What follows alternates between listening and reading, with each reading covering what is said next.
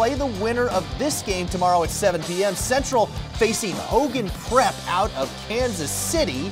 Hogan Prep came out strong in the first half. Rams kick it out to Jeremiah Flemons for the triple.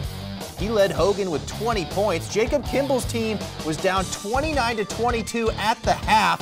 Indians take advantage in the second half, though, of the fast break. Caleb Thornton finds Shaddai Demboma cutting through the traffic for two of his 15 points this evening. More fast break, got the turnover. Here comes Markel Mayfield right to the rack for the and one. Even more fast break. This time it's Caleb Thornton doing it all himself. He had 11 points tonight for the Indians.